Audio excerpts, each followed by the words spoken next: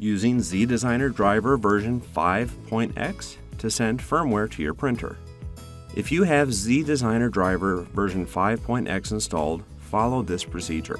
If you have the ZDesigner driver version 8.x installed, see our video on installing with that option. You can use the ZDesigner driver to send a file to your Zebra printer without installing additional software or utilities.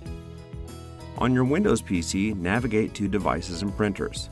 There's more than one way to get there, but for this example, we'll click Start, Control Panel, Devices and Printers.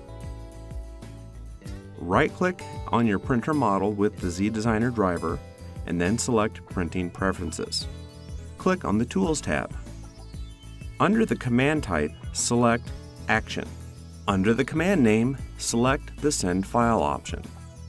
Click on the ellipses and point to the location and name of the file you want to send. Once the correct file name and path are displayed, click Send.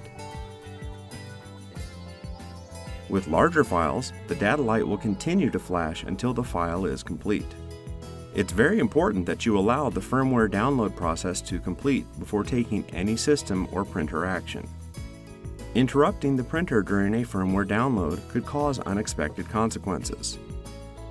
Once the download is complete, there are verification and decompression steps that may occur without any indication. Wait for the printer to restart and print a configuration label.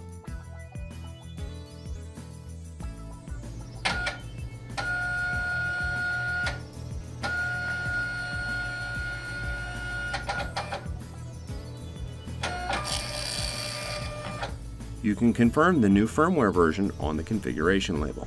Thanks for watching and be sure to check out other videos on how to use your ZT230 printer. Like and subscribe for more.